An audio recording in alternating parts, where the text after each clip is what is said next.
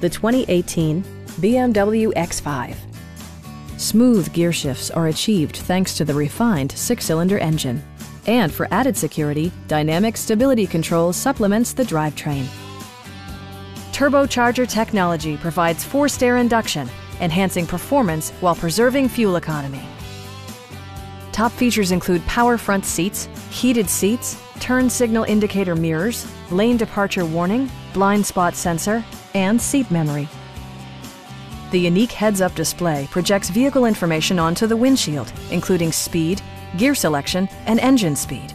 Drivers benefit by not having to take their eyes off the road.